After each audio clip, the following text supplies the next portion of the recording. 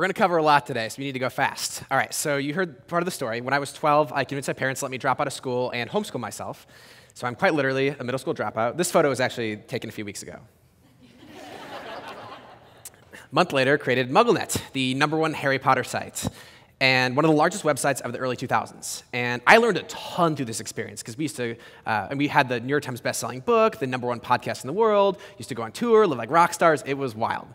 And my parents pretty much stayed out of my way and let me study whatever I wanted with one exception. I had to read four short biographies of successful people every single day. Predictably, this shattered my little 12 year old brain into 10,000 pieces, and I decided that I wanted to change the world. Fast forward, decided to go to college for fun. Not a good reason to go to college.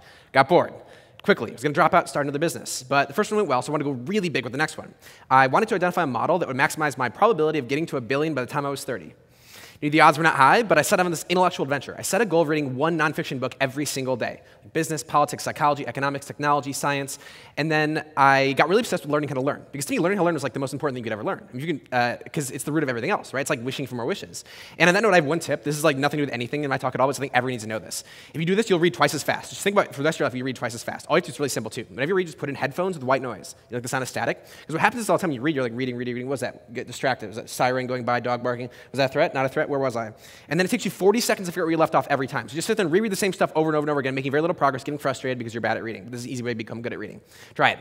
So, fast forward again, I got really obsessed with uh, virality. Because to me, virality was like the ultimate form of influence, right? Because I was like, if you could make things viral, that's like having a human superpower. You could tip elections, overthrow dictators, start movements, revolutionize industries, and it worked. And then this happened, and started created a bunch of huge, you know, Facebook pages with tens of millions of followers, tens of millions of followers on Twitter. Launched 40 different websites, each of which attracted millions of monthly unique visitors. Basically, like funny iPhone autocorrects, things like that. We have like these big meme websites. Now we've got like Dose.com, OMG Facts. Um, but really, it's not just like why things go viral. It's also just curves that go like this, like this. So this curve right here, this shows you this is like basically all progress throughout history. What you'll notice here is that like basically we didn't do a whole lot for most of human history. All we did was like starve and kill each other. Look at this, though. Look at all these dots. Look at this. Look at all these things we've done recently. All right, that's what I'm talking about today. Because we don't spend enough time thinking about how fast things are really changing. Basically, like this no progress, lots of progress. All right, so let's go. Progress tsunamis. This is what I call like viral. We talk about viral. Basically, it's like things that don't seem to be growing very fast, and they're like, whoa, what was that? Like a tsunami. Tsunami is like earthquake in the middle of the Pacific. It's like this three-inch little wave traveling a thousand miles, and then it gets close to land, and the tsunami is like, oh, hey, and they're like, eat all your cities and stuff. But it happens like that, and you don't see it coming. And so that's what I want to talk about today, things like that. Shanghai. Look at this progress tsunami. 23 years ago. First of all, 23 years ago, this was Shanghai. Look at it now. Look at this progress tsunami. Ah, progress, buildings, skyscrapers, etc. Big deal. 23 years. User-generated video. Another progress tsunami. Look at this. No basic user-generated video. Now everyone's got a phone. Take stuff. Songs. Look at all this. Look at all this auditory innovation. That's amazing, right? The amount of songs being created is growing exponentially. The amount of movies being created, growing exponentially. Those entertainment options, online courses. There are huge implications of this one slide alone for what the future of education looks like. Look at that, online courses. Things connected to the internet. Yay, internet. The amount of drones being created. Drones are going to revolutionize a whole lot of different industries. Big, big, big deal. The amount of words, I don't even really know why this is true, but the amount of words being created is growing exponentially. Linguistic innovation, who doesn't get excited about that, right? Planets. All right, this one, like, just imagine. Look at, look at this. We basically like, found like no planets at all, and then all of a sudden, look at all those planets we just found. This is a really big deal. You don't have to be like a little kid, like astronaut, thinking that imagine like how imagine this curve when it goes up to like all the way over here, and we found like 10,000 more planets. Like amazing. Uh, just think of what the universe might hold that we've never found before. Whew, it's exciting. All right, the amount of books. Books, the amount of books being created is growing exponentially. Of all things, right? This old format paperback. Oh, very exciting. All right, startups. Um, the amount of startups being created. Everyone wants to join a startup now, right? Look at this. You can see it in the data too. Startups, look at all this innovation. Think what this represents as far as how much progress we're making in society when anyone with a laptop can start, and an internet connection can start a business. The amount of knowledge being created, growing exponentially. The amount of uh, articles being uploaded to Wikipedia. We didn't know anything. Look at this. We knew nothing. Now look at all the things we know. Big deal. The amount of collaboration. This shows how many uh, articles per scientific paper. Collaboration's exploding. The amount of TV shows being created. You can argue that's bad. I think it's good. Uh, the amount of apps being created, growing exponentially. The amount of scientific studies. Again, look at this. We didn't know anything.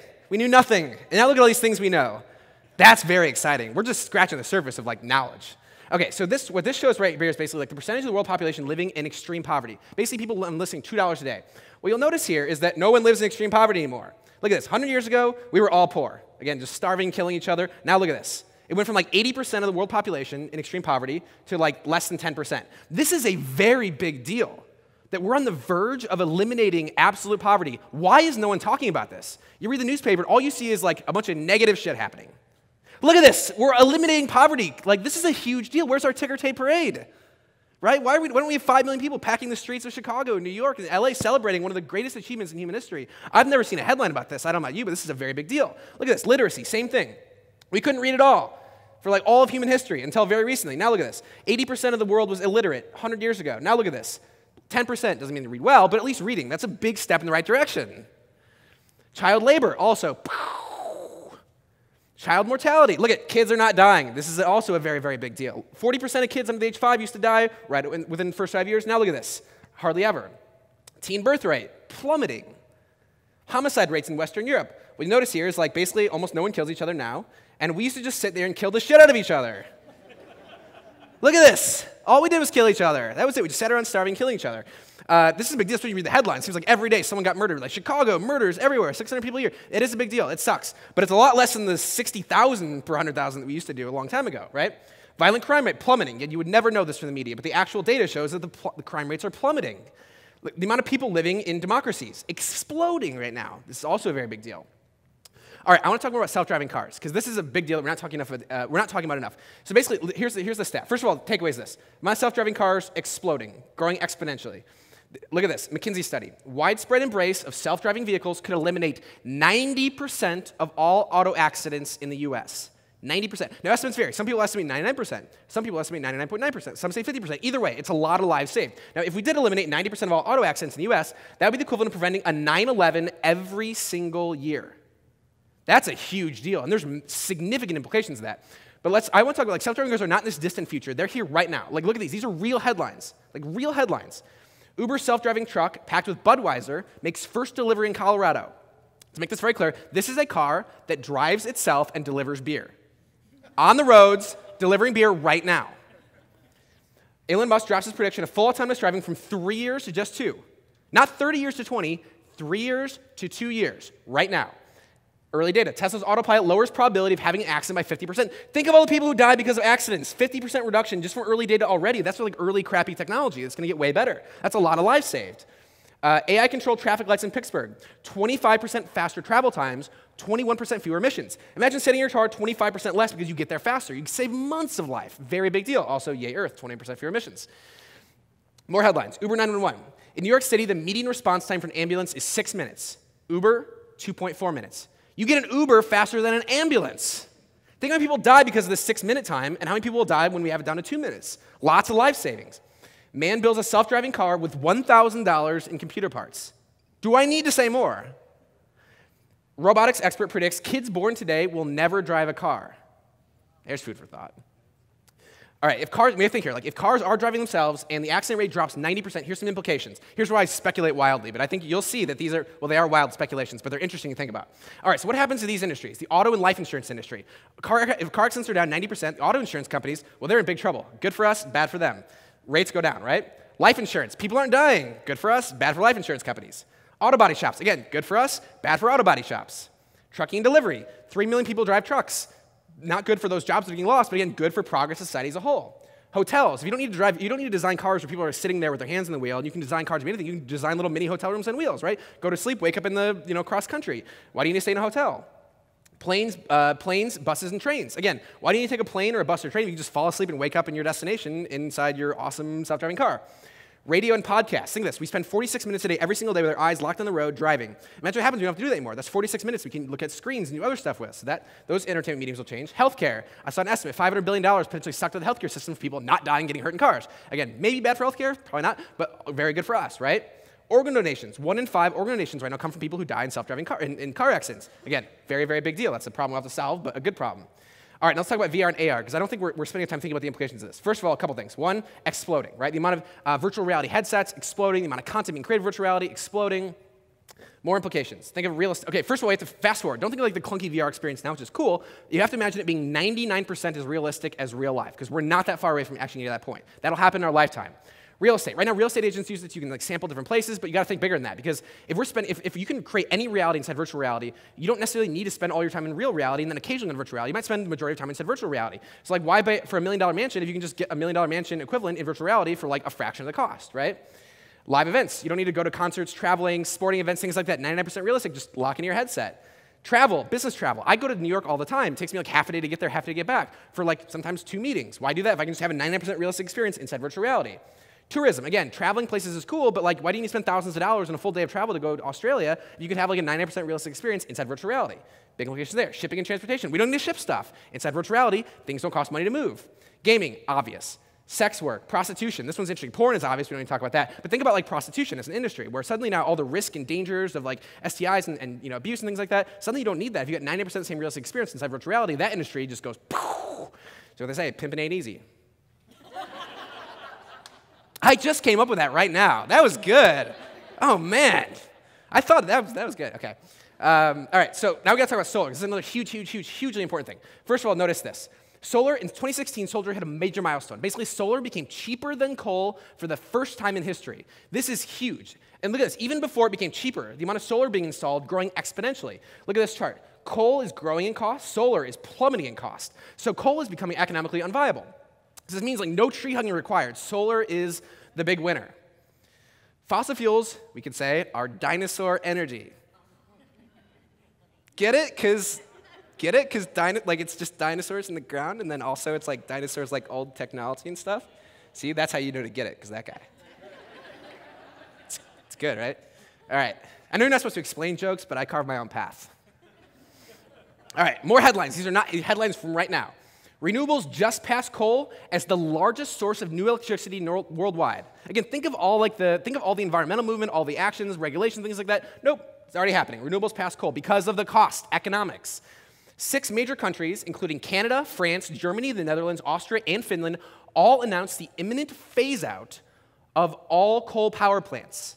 Again, not for environmental reasons necessarily, for economic reasons. France announced in 2023 they're shutting down their coal power plants. Britain, 2025. That's like five and seven years away because of economics. Very, very big deal. We shouldn't be talking about building new coal power plants. We can't shut the ones we already have down because they're not going to be economically viable. All right, Tesla solar roof to cost less than a regular roof. You didn't hear about this. Tesla announced these roofs, basically solar panels throughout the whole roof. They look just like a regular, you don't have the ugly solar panels. And they're cheaper even before you add in the energy savings of being able to generate electricity from your roof. Very big deal.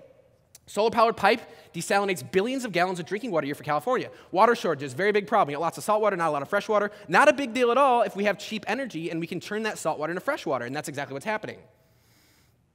More things that are actually happening right now. Man lives 555 days on a heart machine he carried in a backpack. What could I possibly say? A heart he carried in his backpack, staying alive. Medicine is amazing. Three men had their hands amputated and replaced by prosthetic hands they control with their minds. Not sci fi, not Star Wars, happening right now. Human radiologists miss 7% of cancers in a study. A deep learning algorithm missed 0%. Again, yay humans, right? 7% is pretty good. 93% of cancer is caught. That's, the only people died because of the 7% error rate. The only people aren't going to die when this kind of stuff happens more and more, which it is. Researchers find missing link between the brain and immune system. Translation, mind over matter. We don't have time to go into that, but that's really interesting. For the first time, scientists actually found a real link between what you think and how your body responds to illness. Um, skin gun helps burn victims quickly regrow skin by spraying them with their own stem cells. Bam, bam, skin regrown. Whoa. I mean, I think that's super cool. Let's think about that, like scars, things like that. Okay, doctors just reversed severe MS using stem cells. Biohackers figured out how to inject your eyeballs with night vision. FDA approved exoskeleton allows paralyzed people to walk. Same exoskeleton also makes you super strong, superhuman strength, be a superhero.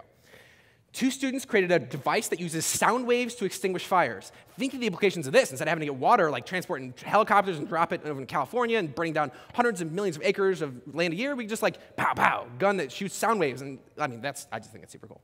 Uh, lab grown meat, 30,000 times cheaper than 18 months ago. If you don't hear about this, basically the idea of lab grown meat is that we don't have to like raise a bunch of animals, feed them tons of corn and stuff, and then slaughter them in huge quantities to be able to like eat stuff. We can actually just like grow the stuff from the ground up, which sounds really gross, right? You who would do that. The thing is, you will do that because here's what's gonna happen. The cost of that is gonna become way, way, way cheaper than animal meat. So unless you want to go pay like 10 times more for real meat, and also then there's the there's the I'm not getting, making any like moral judgments here. I love meat. Meat's wonderful, but like you know, it's gotta it's gotta slaughter a lot of animals to like feed the people, right? So you can do it this way, and the cost comes down that much. And it, by the way, it's it's chemically identical.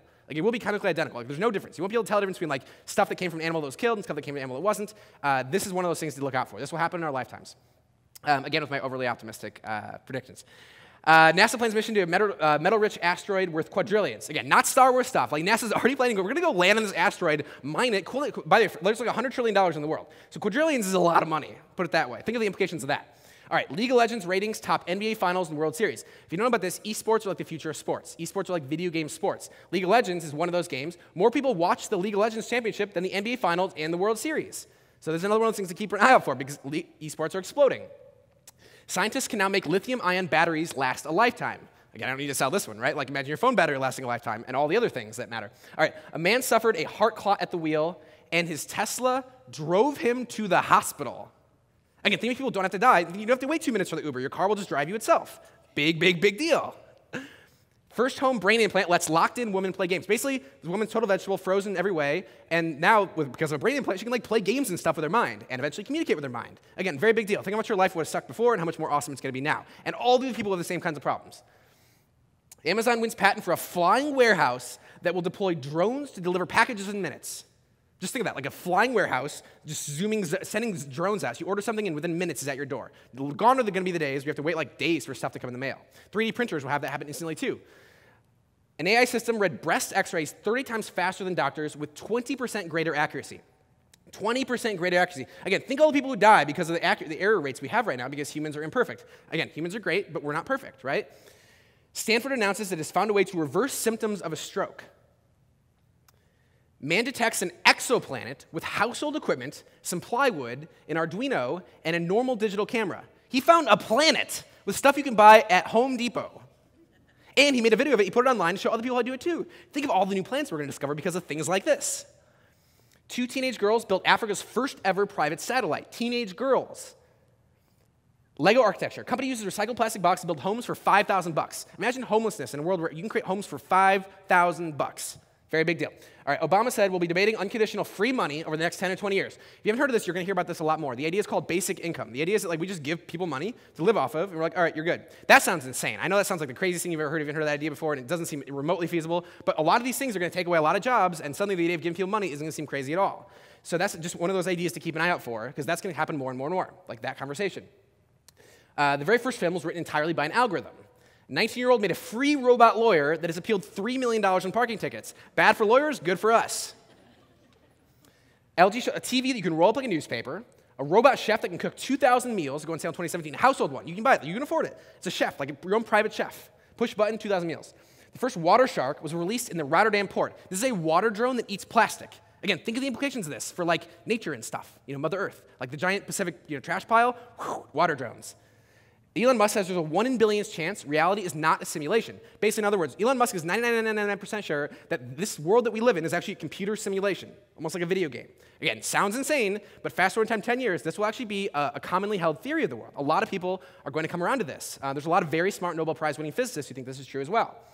Goodbye, human translators. Google's within striking distance of human level translation. In other words, Google is like this close to having like a box. I talk in this and translate to any language in the world, fluency level instantaneously. Think of how that'll bring people together. And also think about the implications of learning languages. Like why learn languages if Google's got this thing coming out right around the corner that you can just not have to learn a language and speak a language? That's a big deal. Man has vision restored with bionic eye. Scientists discovered how to regenerate human skin. Scientists reverse aging in mammals. They're 10 years away from human trials, reverse aging, just to really draw attention to that point. Lab grown kidneys have been successfully transplanted in animals. Basically, like lab, science, beakers of stuff, and then poof, kidney. Not like cut, cut out kidney, put an animal. Like that's, that's happening right now. Other, other animals too, uh, things too. Scientists uh, develop an eye drop that can dissolve cataracts. Eye drop, cataract gone. Again, amazing. These are like real things that are happening right now. And this is my personal favorite one. Researchers found a way to structure sugar so 40% less sugar can be used without affecting the taste. Starting to be available in 2018. Now, we can all get around something, right? That's when we can get united around. Thank you.